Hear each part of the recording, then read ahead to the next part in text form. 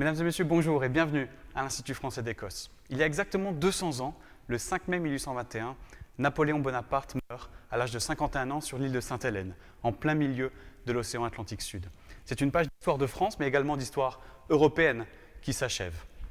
Je m'appelle Jordan Girardin, je suis historien, et pendant ces deux dernières années, j'ai travaillé à l'Institut français au Consulat général, ici à Édimbourg. Et je tenais à vous présenter, à travers cette petite conférence, une page d'histoire française qui m'intéresse énormément comment Napoléon a pu réformer ce pays, mais également laisser une légende derrière lui toute particulière, qu'il a écrite d'ailleurs pendant son exil à Sainte-Hélène. Now Bonnie's away from his and fighting.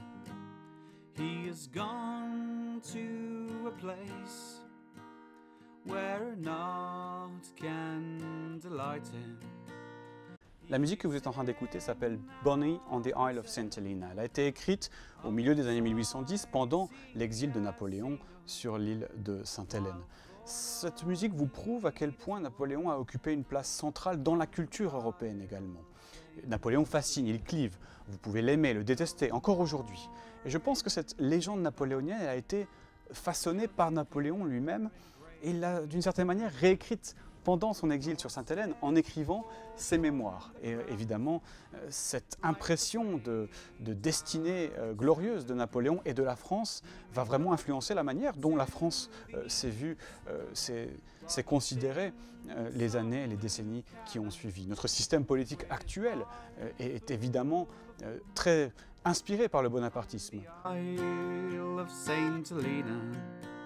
So all of you that have wealth beware of ambition, for the some twist of fate could soon change your condition. Be steadfast in time, what's to come change you cannot, for maybe your race will end on the Isle of Saint Helena. Nous allons reprendre l'histoire de Napoléon en 1814. C'est à ce moment-là que son empire commence à chuter. En 1814, euh, le 31 mars exactement, Paris est pris. Paris chute et c'est le moment pour Napoléon de décider s'il peut se permettre de demander à Napoléon II, son fils, de prendre le trône alors qu'il est encore jeune enfant ou euh, de devoir abdiquer. Et c'est ce que les Alliés vont demander à Napoléon. C'est une abdication pure et simple au début d'avril 1814. Début mai, Napoléon va être envoyé en exil, pas sur l'île de Sainte-Hélène dont on a parlé avant, sur une île bien plus proche, en plein milieu de la Méditerranée, au large des côtes d'Italie. Le 4 mai, Napoléon est emmené à bord de l'Andonte, de la frégate anglaise, sur l'île d'Elbe. Il y arrive et en quelques jours, il commence à prendre euh, possession de l'île. Il est après tout roi, prince, empereur de l'île d'Elbe. Il va désirer la moderniser, lui apporter un nouveau système de routes, de ponts, d'irrigation, de culture. Napoléon prend à cœur cette réforme de cette petite île au milieu de la Méditerranée. Il va, donc euh, absolument réformer cette île, la moderniser. Il va essayer de signer des traités commerciaux avec les villes de Gênes et de Livourne pour essayer de, créer une sorte de mini-empire. Mais très rapidement, Napoléon s'ennuie. Il se rend compte qu'il avait jadis un énorme empire qui s'étendait de l'Espagne jusqu'aux plaines de Pologne et de Russie. Il est temps pour Napoléon de réfléchir à la suite. De plus, le matin, il se réveille et peut voir parfois au loin sa Corse natale. C'est une forme, encore une fois, d'humiliation, d'être empereur d'une si petite île et en face de son île natale. Il va réfléchir donc, et fin février 1815, il part avec ses hommes, l'armée dont il disposait, à bord de l'Inconstant, et arrive à Golfe-Juan le 1er mars 1815. Pendant ce temps-là, le Congrès de Vienne est en place. Le Congrès de Vienne, c'est cette réunion entre tous les pouvoirs d'Europe pour redessiner une Europe complètement fragilisée, aux frontières complètement explosées par le règne de Napoléon. La France, en attendant, est redevenue une monarchie. C'est Louis XVIII qui est au pouvoir. Et après cette arrivée à Golfe-Juan, c'est ce qu'on va appeler les 100 jours. Mais une petite période va commencer entre les deux, qu'on appelle le vol de l'aigle. C'est-à-dire que Napoléon va essayer, en quelques semaines, de reprendre le pouvoir à Paris pour entamer une renaissance de son pouvoir et de son empire. Napoléon a décidé d'éviter la vallée du Rhône. Euh, en 1814, quand il descend jusqu'à Golfe-Juan, il est humilié par euh, les populations locales qui sont très royalistes. Donc il va décider, après son arrivée à Golfe-Juan, de monter par les Alpes, de monter par les départements, des, ce qu'on appelle désormais les, Alpes de Haute-Provence, à l'époque appelées les Basses Alpes, et le département des Hautes-Alpes, avec une population complètement, complètement acquise à sa cause. Le 7 mars 1815, Napoléon arrive à Grenoble. Et c'est un moment absolument crucial dans le vol de l'aigle, dans le début de ses 100 jours. C'est à ce moment-là que Napoléon va commencer à croire, euh, avec euh, non sans raison, qu'il peut reprendre le pouvoir à Paris et que euh, ce défi qu'il s'est lancé en partant de l'île d'Elbe peut se réaliser. Il dira de manière très connue, avant Grenoble, j'étais aventurier, à Grenoble, j'étais prince. C'est le titre que j'ai décidé de reprendre pour mon travail de mémoire, le premier travail de recherche que j'ai effectué sur cette semaine cruciale entre Grenoble et Lyon. Donc à Grenoble, comme je viens de le dire, il est accueilli en, héros et le congrès de Vienne, encore, euh, encore en activité, commence à avoir vent de ce retour de Napoléon. Il y a beaucoup, de rumeurs, beaucoup d'exagérations. Les Anglais publient certaines caricatures de Napoléon en disant qu'il n'y a absolument aucun risque pour lui de reprendre le pouvoir. Mais on va, on va se rendre compte que à partir de Grenoble, de Lyon, qu'il y a un réel risque pour le pouvoir monarchique de tomber et, une réelle opportunité pour Napoléon de reprendre donc ce pouvoir. À Lyon, c'est une partie intéressante qui se, déroule. Le maire, le comte de Fargue, euh, demande à la population de rester chez elle, une sorte de confinement avant l'heure, et de faire confiance tout simplement euh, au maire de la ville qui va pouvoir protéger la ville de cette armée qui arrive. Retournement de situation, le lendemain, Napoléon entre en héros dans la ville et le maire change complètement de, ton. Et je vous invite à lire avec moi ce message. Un véritable retournement de veste qui nous montre vraiment que le pouvoir commence à se rendre compte que le retour de Napoléon est inévitable. En quittant Lyon, Napoléon va laisser encore une fois une affiche. Il le faisait énormément pour remercier la population de, de l'accueil qu'il avait reçu. Mais ces quelques mots aux habitants de Lyon ont vraiment résonné et restent aujourd'hui gravé dans la mémoire des Lyonnais.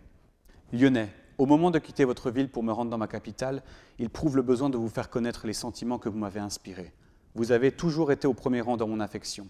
Sur le trône ou dans l'exil, vous m'avez toujours montré les mêmes sentiments. Ce caractère élevé qui vous distingue spécialement vous a mérité toute mon estime. Dans des moments plus tranquilles, je reviendrai pour m'occuper de vos besoins et de la prospérité de vos manufactures et de votre ville. Lyonnais, je vous aime. Et ce sont ces mots très, très forts qui restent aujourd'hui, qui sont, euh, qui sont gravés hein, sur, une, sur, une, plaque en, pleine ville de Lyon.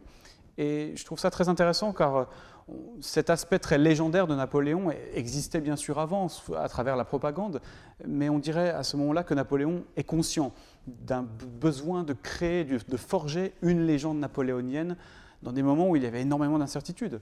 Quelques semaines plus tard, à la fin mars 1815, Napoléon entre à Paris Louis XVIII est déjà parti, et là peut commencer vraiment ce que nous connaissons comme les, euh, comme les 100 jours, que nous reconnaissons comme les 100 jours, mais euh, à l'époque, Napoléon pense que c'est une véritable euh, renaissance, un véritable retour au pouvoir pour lui. Comme nous le savons, les 100 jours portent bien leur nom, ça ne, ça ne durera pas longtemps, et après trois mois, en juin 1815, c'est la fameuse bataille de Waterloo, dans laquelle Napoléon va être défait, déchu, et ce n'est pas vers l'île d'Elbe qu'il va être exilé cette fois-ci, mais vers l'île de Sainte-Hélène. Pour parler de ces conditions de vie très particulières en exil sur Sainte-Hélène, euh, cette fameuse réécriture de l'histoire napoléenne par Napoléon lui-même, nous allons accueillir désormais Charles Éloi Vial. Il est venu déjà il y a deux ans nous présenter euh, son ouvrage Napoléon à Sainte-Hélène, L'encre de l'exil, et nous voulions le réaccueillir aujourd'hui pour qu'il nous explique en personne, virtuellement malheureusement, euh, ces fameuses euh, pages de ce chapitre napoléonien. Charles Éloi Vial est conservateur des bibliothèques et depuis 2012 en poste au département des manuscrits à la Bibliothèque nationale de France. C'est un historien de Napoléon passionné et passionnant et son dernier ouvrage, Histoire des 100 jours de mars à novembre 1815, paraît cette année en 2021 aux éditions Perrin. Charles Éloi Vial, merci encore d'être avec nous virtuellement. La parole est à vous. Bonsoir à tous et merci euh, de m'écouter pour cette brève vidéo en souvenir de ma conférence à Édimbourg il y a presque deux ans sur le thème Napoléon à Sainte-Hélène pour le bicentenaire de la mort de Napoléon. Alors comme vous le savez, Napoléon perd la bataille de Waterloo le 18 juin 1815 et il se précipite à Paris en espérant pouvoir lever une nouvelle armée, mais il est contraint d'abdiquer le 21 juin 1815. Il laisse place à un gouvernement provisoire dirigé par Fouché, son ancien ministre de la police, qui prépare activement le retour euh, du roi Louis XVIII après avoir euh, songé brièvement à un avènement euh, du duc Louis-Philippe d'Orléans. Fouché prie Napoléon de quitter l'Élysée, où il s'est installé, et Napoléon se réfugie au château de Malmaison, l'ancienne résidence de Joséphine, qui est morte l'année précédente. Et là, le grand maréchal du palais, Bertrand, prépare l'exil de l'empereur, l'empereur qui songe à ce moment-là à se retirer définitivement aux États-Unis. Napoléon fait venir notamment le banquier Lafitte, chez qui il dépose 3,8 millions de francs, c'est tout l'argent qui lui reste, et cet argent doit servir à financer euh, son nouvel exil. Le 27 juin, Fouché demande à Napoléon de partir pour Rochefort, où deux frégates doivent l'emmener à Philadelphie.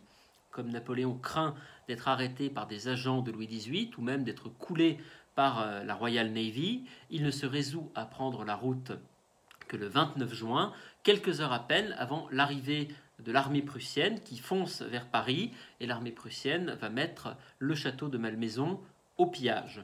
Le 6 juillet, après un voyage sans encombre, Napoléon arrive dans le port de Rochefort avec sa suite qui compte encore environ 65 personnes. Le 8 juillet, le jour où Louis XVIII rentre à Paris, Napoléon se décide à embarquer, mais euh, les deux frégates euh, qui ont été mises à sa disposition euh, ne peuvent pas prendre le large parce que les navires anglais bloquent la rade. Et Napoléon refuse de se lancer dans une bataille navale et il se réfugie le 12 juillet, après quelques jours d'incertitude, sur l'île d'Aix.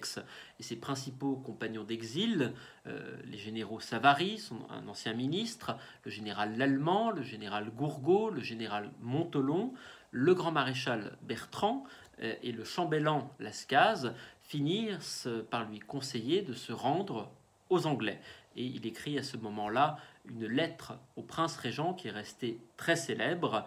J'ai terminé ma carrière et je viens comme Thémistocle, m'asseoir au foyer du peuple britannique, je me mets sous la protection de ces lois, que je réclame de votre Altesse royale comme celle du plus, puissant, du plus constant et du plus généreux de mes ennemis. Le 15 juillet, Napoléon embarque à bord du Bellérophon, et là, il reprend espoir. Les Anglais l'accueillent bien, il rêve d'une retraite luxueuse dans la campagne anglaise, mais euh, le navire jette l'ancre le 23 juillet devant Torbay et Napoléon tombe de haut, euh, il est empêché de débarquer, il est considéré non pas en empereur mais comme un simple général et on l'informe bientôt euh, qu'il va être déporté à Sainte-Hélène, une île volcanique de 122 km perdue au fin fond de l'Atlantique Sud. Il est transféré sur le HMS Northumberland, navire plus vaste. Il proteste autant qu'il peut, mais il n'est autorisé euh, à emmener que quelques, euh, quelques proches et un nombre très réduit euh, de domestiques il va choisir un de ses grands fidèles qui est le général Bertrand, le général Gourgaud qui est un de ses grands admirateurs, le général Montelon, Lascaz qu'il admire, quelques serviteurs très dévoués comme le valet de chambre Marchand, le maître d'hôtel Cipriani, le même look Ali et naturellement euh, les épouses, les comtesses Bertrand et Montelon avec leurs enfants qui refusent de quitter leur mari. Le 7 août, le Northumberland lève l'ancre et dès cet instant, Napoléon est en exil et Napoléon commence à s'ennuyer. C'est le moment où Lascaz a ce mot absolument lumineux. Sire, nous vivrons du passé, il a de quoi nous satisfaire. Ne jouissons-nous pas de la vie de César, de celle d'Alexandre, nous posséderons mieux, vous vous relirez, sire. Napoléon comprend qu'il n'a plus aucun espoir de retrouver le pouvoir, et Napoléon se décide à ce moment-là, a succombé à la nostalgie et il se met à raconter ses souvenirs à ses proches. Première étape de ce qui deviendra le fameux mémorial de Sainte-Hélène. Le 16 octobre 1815, après une longue traversée, Napoléon débarque à Sainte-Hélène, où il va passer les dernières années de sa vie. Il est surveillé par une garnison de 2200 soldats. Il est espionné constamment par le gouverneur de l'île, l'implacable Hudson Law, et après un bref séjour dans le pavillon euh, des Briards, pavillon charmant, euh, il emménage le 10 décembre 1815 à Longwood, qui est une maison installée sur le site le plus inconfortable de l'île, sur un plateau venteux, chaud, humide, à proximité d'un camp militaire. Donc on est très loin euh, du palais des Tuileries, du palais de Saint-Cloud. Euh, c'est plutôt une maison qui a des allures de prison, qui n'est pas inconfortable, mais tout de même un environnement empressant où Napoléon va vivre au milieu de ses souvenirs et surtout il va s'épuiser à arbitrer les querelles entre les différents membres de son entourage dans un décor assez étrange avec des meubles anglais qui cohabitent avec des bibelots euh, ramenés de France, une collection de tabatières avec les portraits de sa famille, quelques tableaux et comme Napoléon le dit lui-même, ce n'est plus la splendeur des Tuileries, mais qu'importe, si je suis déchu de ma puissance, je ne le suis pas de ma gloire, je conserve mes souvenirs. Alors Napoléon, dans les premiers mois de son exil, est encore en bonne santé. Il commence par se lever entre 5 et 6 heures du matin, comme à son habitude. Il fait une promenade à cheval, il prend un bain, comme toujours, puis il déjeune en compagnie d'un de ses invités, donc un des officiers de sa suite, avec qui il converse. Évidemment, l'officier ne déjeune pas à table avec lui, il se tient debout devant sa table et il regarde Napoléon euh, déjeuner et il écoute Napoléon raconter sa vie. Et Napoléon passe de très longues heures à dicter ses mémoires euh, qui se relaient, euh, ses différents compagnons se relaient pour prendre en note ses paroles. Là aussi, au moment du dîner, l'empereur est servi conformément à l'étiquette, mais par des marins britanniques qui ont été affublés de la livrée euh, des Tuileries.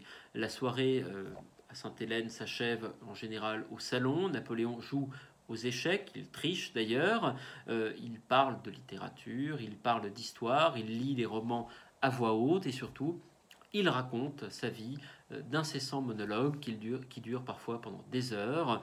Il se remémore ses campagnes, il parle de sa famille, il parle constamment de la bataille de Waterloo. Il critique également ses anciens courtisans, ses anciens ministres qui l'ont trahi, notamment Talleyrand, Fouché, le maréchal Marmont, qui sont véritablement ses bêtes noires. Évidemment, ce qu'il raconte est passionnant, mais euh, ces soirées sont souvent très lugubres. Napoléon ressasse sa défaite, euh, il ressasse ses regrets et finalement il s'ennuie au fond. Donc c'est tout de même une atmosphère très oppressante d'exil et l'on se rend compte d'un mois à l'autre que le quotidien de Longwood devient de plus en plus pesant. La maison se dégrade du fait de l'humidité, les rats vont se mettre à grouiller dans les cloisons, les Anglais se font de plus en plus suspicieux, Hudson Law est persuadé que son captif cherche par tous les moyens à s'évader, il le fait donc espionner, et Napoléon prend un malin plaisir à se dérober, et du coup il se cloître, il s'enferme dans ses appartements, il n'a eu que quelques rencontres euh, avec Hudson Law et chaque rencontre s'est achevée par un esclandre. Les deux hommes en réalité se détestent. Le gouverneur de l'île sombre dans la paranoïa. Il rédige chaque jour de très longs rapports qu'il envoie à Londres. Il soupçonne absolument tout le monde, y compris son propre état-major. Il y a des règlements euh, sur la police, sur la surveillance de Longwood euh, qui sont constamment rédigés, qui coupent peu à peu Napoléon du reste du monde, qui l'empêche de recevoir des voyageurs de passage sur l'île, mais il n'en a cure, il va passer pour un martyr aux yeux de la postérité et il en est conscient, il a une légende à écrire et comme lui-même euh, le note, mon âme est libre et indépendante, comme lorsque j'étais à la tête de 300 000 hommes, l'injustice et la force peuvent maltraiter mon corps, mais la réprobation de tous les peuples et celle de la postérité me vengeront. Alors comment, euh, comment évoquer ensuite ces années de, Sainte-Hélène? Napoléon, en réalité, se fait une raison. Il comprend petit à petit qu'il ne retournera jamais en France, qu'il est coincé dans cette île, qu'il va terminer euh, ses jours à Sainte-Hélène, qu'il ne reverra jamais le reste de sa famille. Pour lui, c'est vraiment un poids. Mais comme il le dit, euh, si Jésus-Christ n'était pas mort sur la croix, il ne serait pas Dieu. Euh, sa postérité devient peu à peu sa principale préoccupation. Il va chercher à justifier les différents épisodes de sa vie euh, que ses opposants ou les futurs historiens pourraient éventuellement critiquer. Il va par exemple souvent parler dans ses, euh, dans ses conversations des pestiférés de Jaffa, de l'affaire du duc d'Anguin, il va parler de Waterloo, il va parler de la campagne de Russie.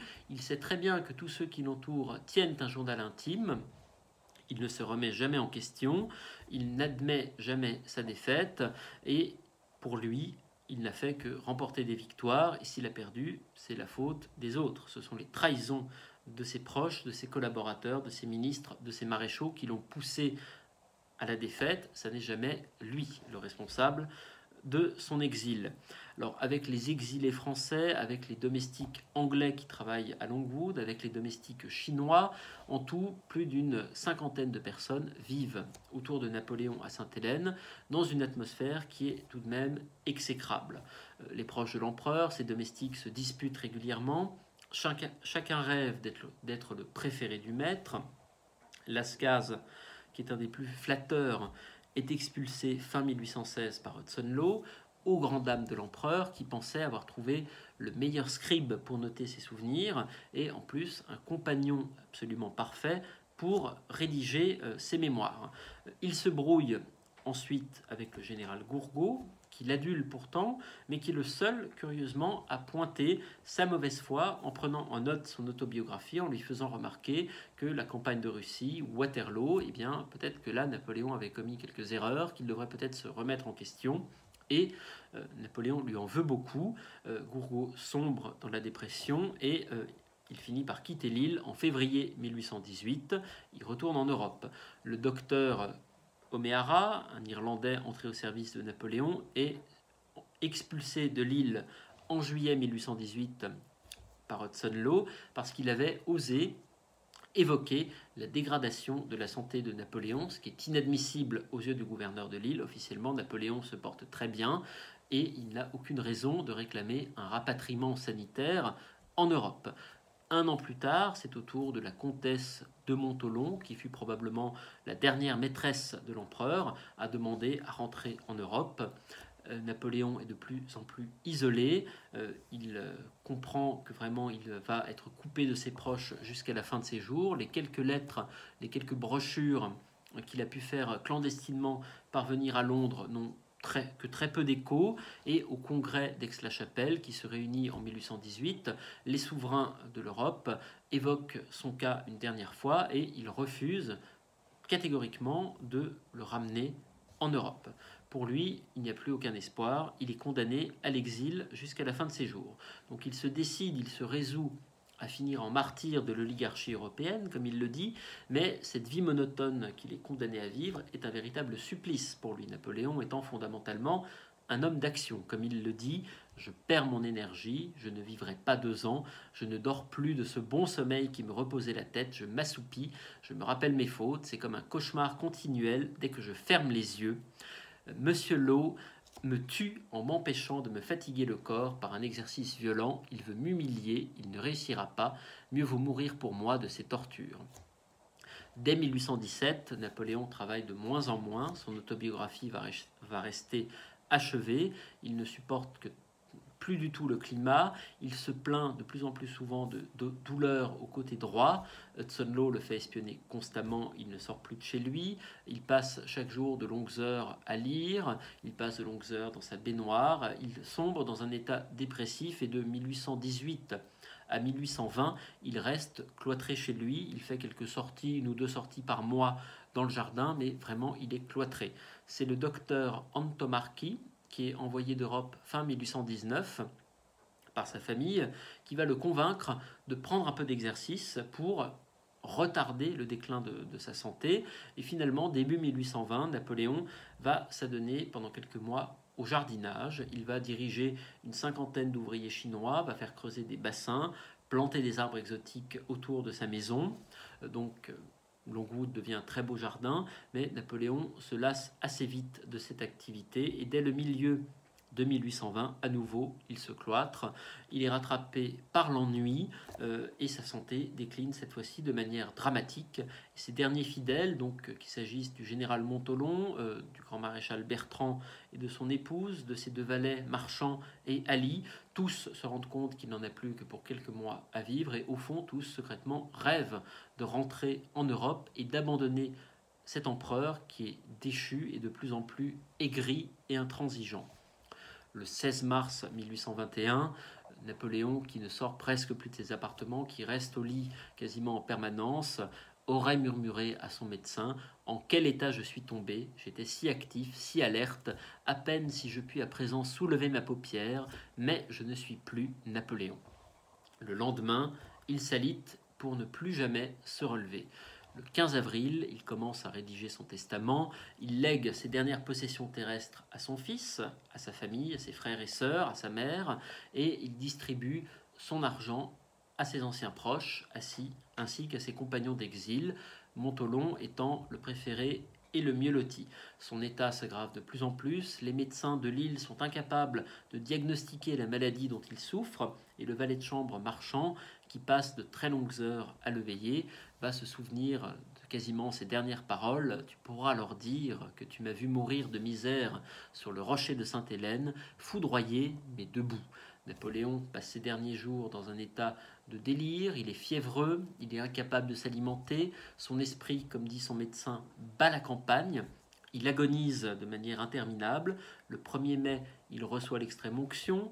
En dépit de son scepticisme, il ne croit pas vraiment en Dieu sans doute, mais il se souvient qu'il a été sacré par le pape. Il veut faire une véritable mort de souverain chrétien. Pour lui, c'est un geste politique, mais malgré tout, il aurait dit que après la mort, il n'y a rien. En désespoir de cause, les médecins de l'île suggèrent de lui administrer du calomel, qui est un médicament que l'on utilise à l'époque, qui est à base de mercure, qui est en réalité hautement toxique, et dans l'état de faiblesse de Napoléon, euh, ce médicament provoque une hémorragie massive. Napoléon tombe en état de choc, dans une forme de coma, et durant toute la journée du 5 mai, il agonise, toute la maisonnée de Longwood se réunit en silence autour de l'empereur, qui respire à peine, euh, et là on guette la fin. Comme le dit euh, le général Bertrand, ce n'est plus qu'un cadavre, son gilet est couvert de crachats rougeâtres qui n'ont pas la force d'aller plus loin. Et enfin, à 17h49, le 5 mai 1821, il va, comme le dit Chateaubriand, rendre à Dieu le plus puissant souffle de vie qui jamais anima l'argile humaine. Au fond, sa mort est un soulagement pour ses proches qui étaient fatigués de ses accès d'humeur et de son attachement maniaque à l'étiquette et qui ne rêvaient plus que de rentrer en Europe.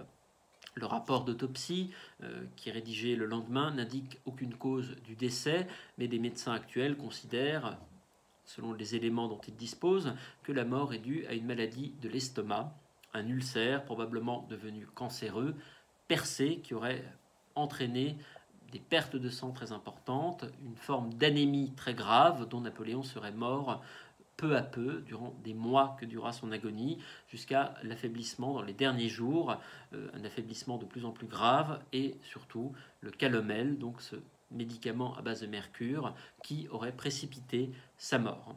Du point de vue du gouverneur de l'île, en tout cas, il est essentiel de justifier le décès de Napoléon par une maladie héréditaire, donc on dit qu'il est mort comme son père Charles Bonaparte en 1785 d'une maladie de l'estomac. Le gouverneur Hudson Law ne veut pas être accusé d'avoir abrégé son existence par de mauvais euh, traitements. Euh, et les recherches actuelles, donc, ce serait plutôt un ulcère à l'estomac. Et en somme, la légende de Napoléon commence avec sa mort, cette mort que l'on a longtemps considérée comme mystérieuse, cette mort un petit peu légendaire, nimbée de mystère, cette gloire qui euh, finit par, par disparaître euh, dans l'exil et alors retour en Europe quelques semaines plus tard. Les derniers proches de l'empereur, ceux qui sont restés avec lui jusqu'au bout, sont acclamés. Euh, au contraire, Hudson Law, le geôlier paranoïaque, quand il revient à Londres, est hué par la foule.